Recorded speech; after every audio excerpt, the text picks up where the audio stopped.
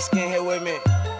This ain't a diss song, but um, yeah, uh huh, you know what it is. I'm a cheesehead, y'all niggas cheese whiz. Pittsburgh Steelers, that's nothing. That Super Bowl ring, that's nothing. Pull up in your town when you Sean, the little bits you knew about Trevor Davis coming in, what have you thought about just kind of seeing him now through some of these, you know, practices and sort of what your first impressions have been of his ability? You know, we faced him before when I was in Cleveland and stuff, and so have known about him. And I know he's got a lot of respect for him. I'm excited about him, and he's continued to get better through the spring, and excited about where he's, you know, where he's trending to and where he's projecting to. I mean, he's got a lot of big playability, and you know, having experience back there, returning kickoffs and punts. But the other thing I think people forget about is he's also a very good cover player. He's a good gunner, and he's a good good cover player on kickoffs. So, to get a guy that can return both punts and kickoffs and cover kicks is invaluable. So I'm really excited about him.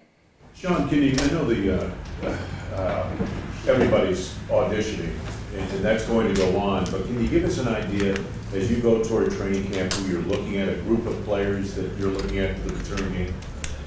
Um, like, like I said, it's it's a group of guys back there. I mean, Trevor. You know, as far as returners, I mean Trevor and, um, you know, it's just a whole host of guys back there. I mean that, you know, Jawil and, and, and a bunch of different guys we're trying back there. Um, Jaire, you know, Jaire's been getting some reps back there and has looked good back there. So we're just trying a bunch of people back there because again, you don't know how the season's going to play out as far as you know, final roster and those kind of things and injuries. So we're trying to, like I said, just trying to train as many guys as we can to get guys back there and get experience. So even if they don't get a ton of reps in training camp or the early part of the season, they've been trained so they know exactly what's going on if they do get thrown in the fire during the game. What would Ficken have to do to unseat Mason Crosby? Um, you know, continue to kick well. He's done a good job and he's progressed, but so so is Mason. I mean, right now I don't have the percentages in front of me and stuff, but I think they've both continued to strike the ball better as they went through the spring. And you know, again, it's going to be one of those where you know Mason Mason's experienced. He's you know he's kicked in these tough conditions before here in Green Bay and Chicago, and he knows the league and. You know, Sam's got it. He's got a good live leg, so we'll just continue to play that out and see how it goes. I think it'll, it'll, it'll, it'll play itself out, and it'll be very apparent for everyone. What makes a good returner?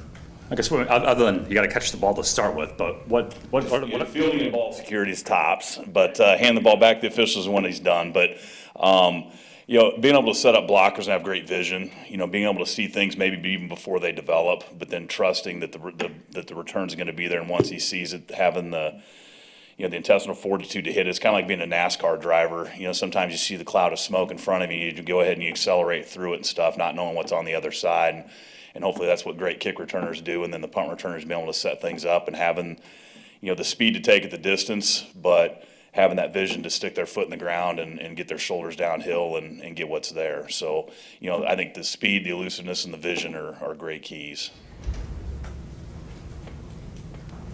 What did um, you see out of Joel in his, his time returning with the Giants? And, and did he play other elements? Yeah, he also he, he covered kicks. He was on the kickoff and was a gunner also. So I, we always look for that. I mean, if you're going to be a core special teams guy and be a returner, you know, always helps if you can cover. So he did both of those and, and had a couple tackles as a gunner.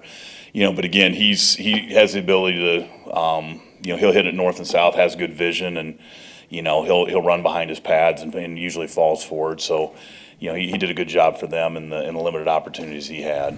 song. I just love my team team with them big G's on the helm.